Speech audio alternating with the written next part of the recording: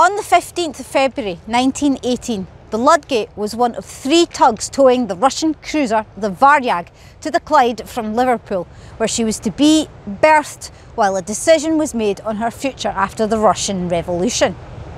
Somehow, the ships took a wrong turn and ended up in the Solway Firth. Then all four ran aground at Abbey Burnfoot, not far from Dundrennan Abbey.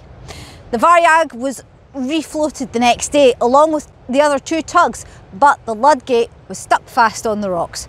Subsequently, she was broken up for scrap.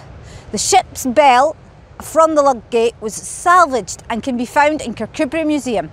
The Varyag seems to have been an unlucky ship indeed, because she went on to sink for a third and final time just south of Girvan.